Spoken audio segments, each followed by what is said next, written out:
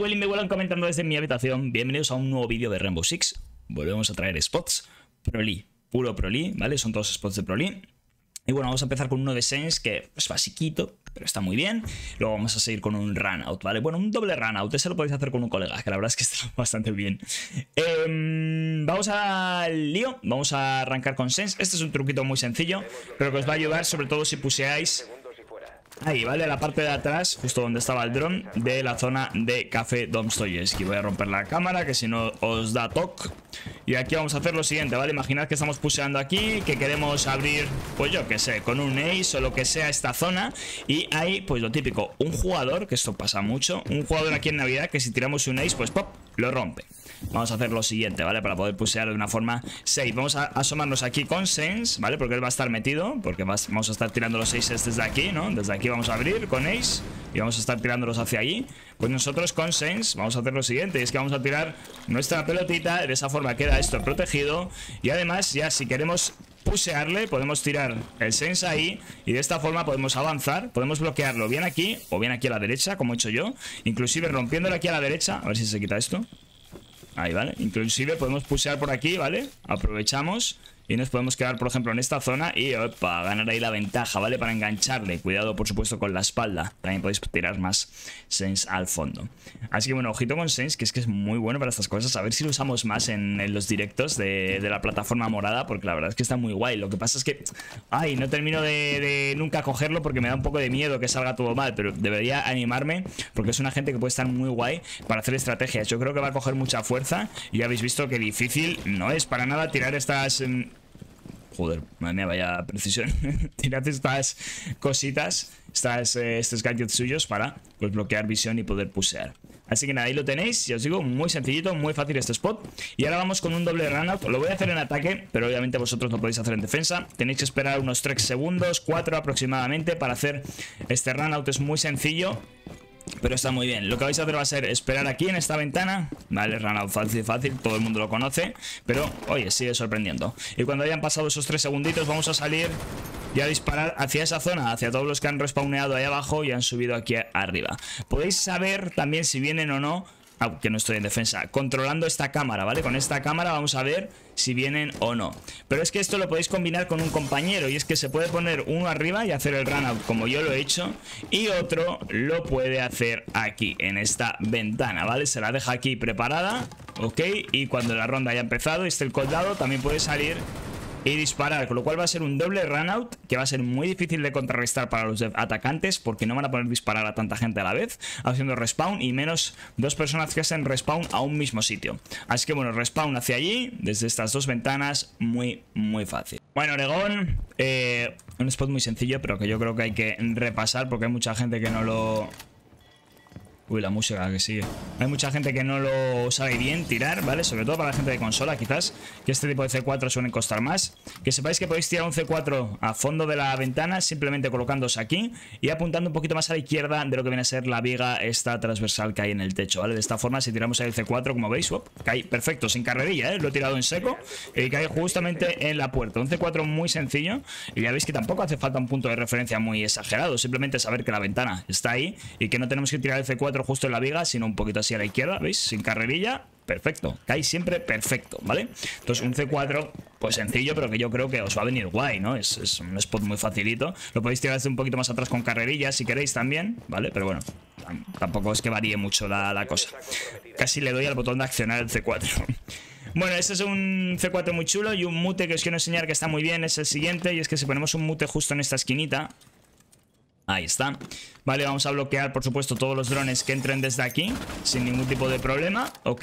Y luego vamos a bloquear todos los drones que entren por esta dronera. Fijaros que si yo me acerco, ahí está, abajo a la izquierda tengo el simbolito de que mute está activado, con lo cual ningún dron va a poder pasar por esta dronera, que también es una de las de acceso bastante rápido.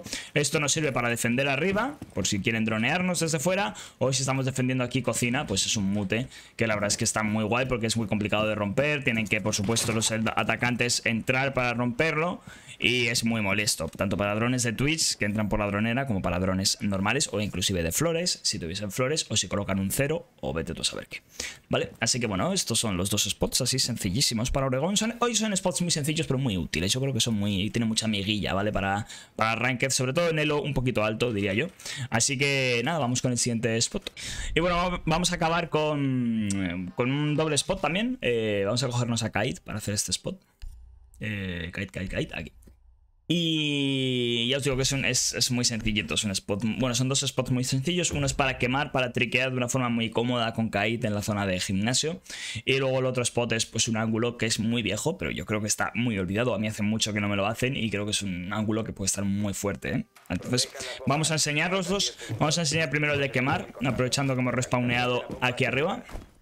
Entonces nada, nos venimos aquí a esta pared, vamos a reforzarla y bueno, lo obvio, lo típico es que aquí haya un bandit, ¿no? Intentando quemar aquí, pero hay un problema y es que a poquito que se eche para atrás, pues nos van a enganchar desde esa ventana. De hecho, inclusive sin echarnos para atrás, hay un micropíxel aquí. Bueno, es que no tengo mira larga, pero bueno, hay un micropíxel desde el cual nos pueden incluso enchufar aunque estamos quemando. Entonces, quemar aquí con bandit es muy complicado. Además de que si te jugamos con esto abierto, pues nos pueden también tirar una granada desde la hatch. Podemos morir de muchas formas forma safe de quemar esto. Dirás, ah, pues me pongo aquí con Kite pegado y ya está. No, no, vamos a quemar de esta forma. Y es que vamos a estar aquí, que desde aquí vamos a escuchar perfectamente si brichean o no.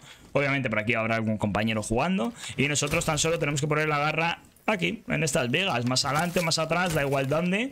El caso es que poniéndola aquí electrificamos, como estáis viendo. Y sin mayor problema, no nos pueden matar porque está la plancha esta. Y nosotros podemos quemar con toda la comodidad del mundo. Además de que también esto nos sirve, pues si queremos esconder la garra o lo que sea, podemos, si no queremos quemar, simplemente esconder la garra, pues que sepáis que podéis, pues eso, ponerla aquí, por ejemplo, en estas viguitas de lado. A ver si me sale, porque... Pues nada, no me sale. Bueno, podéis esconderla aquí, ¿vale? Yo es que soy un poco torpe, pero bueno, ahí está. Podéis dejarla escondidita. Algunos diréis, joder, si a mí igual le cuesta, a mí me va a costar más. Nada, no os preocupéis, ¿vale? No es tan difícil. Ahí ya. Lo que pasa es que yo soy un poco torpe. Ahí está. Garrita, ¿veis? Bien escondida. ¿Dónde está la garra? ¿Dónde está la garra? ¿Dónde está? Está escondida. Así que bueno, ahí tenéis ese truco. Además, bueno, acordaos de que esta pared también se rompe por arriba y que os pueden por aquí fastidiar bastante, ¿vale? Pero bueno, no sé si se podrá poner un fuce ahí. No lo sé, la verdad. Pero bueno, si se puede poner un fuce, pues esta garra también os va a rentar que esté aquí posicionada. Así que ahí está. Garra sencilla. ¿Vale? Mira, ya que voy para abajo, os voy a dar otro consejo de garra, que este es muy viejo, pero bueno, si ponéis ahí un pin y estáis jugando gimnasio, que sepáis que podéis tirar ahí una garra y también electrifica las dos paredes. Pero bueno, eso no es a lo que veníamos. Ese es el spot extra que os lleváis. Vale, nosotros a lo que venimos es a esto Y es que podemos, voy a abrir con el revólver Que se abrirá mejor Podemos abrir aquí un pequeño agujerito en esta esquina superior Para disparar a los que están haciendo rapper O a los que están intentando brichear en la zona de jacuzzi, ¿vale? Vamos, bueno, espera, vamos a abrir bien para que lo veáis Vosotros con que abráis poco va a ser suficiente, ¿vale? Pero veis desde aquí, si abrimos, bueno, un poquito más abajo de lo que he abierto yo ¿Veis lo que vamos a ver? Toda la zona de la brecha Si estuviesen haciendo rappel para colocar alguna carga en inverso Si están por aquí cubriéndose detrás de la mesa Que es lo más típico para los defensores, cubrirse ahí. Entonces aquí que sepáis que les podemos disparar. Y si no les podemos disparar, por lo menos les vamos a poner muy nerviosos. O sea, yo incluso si no jugáis este ángulo, si no lo va a jugar nadie, yo lo abriría, lo dejas abierto y es muy incómodo para los atacantes porque les obligas a tener que dronear esto, les obligas a tener que estar pendientes y eso es una faena, una auténtica faena para ellos, porque ya tienen que estar pendientes de su espalda a la hora que brichean, es muy agobiante para brichear. Entonces, bueno, quedaros con el truquito, porque yo creo que está bastante bien. Y estos son todos los spots que te quería traeros. No creo que sean muchos, no, hoy no he traído muchísimos, pero yo creo que están bien. Al final, bueno, tened en cuenta que llevo subiendo spots eh, una vida prácticamente y es que se acaban. O sea, yo ya más, más, ingenioso no puedo ser. Estoy cogiendo los de Proli. Estoy. Ya, ya no doy abasto, chicos. Pero bueno, espero que lo apoyéis lo que se merece. Que no os cuesta nada, vaya. Y nos vemos, chicos, en un próximo vídeo, como siempre. Chao,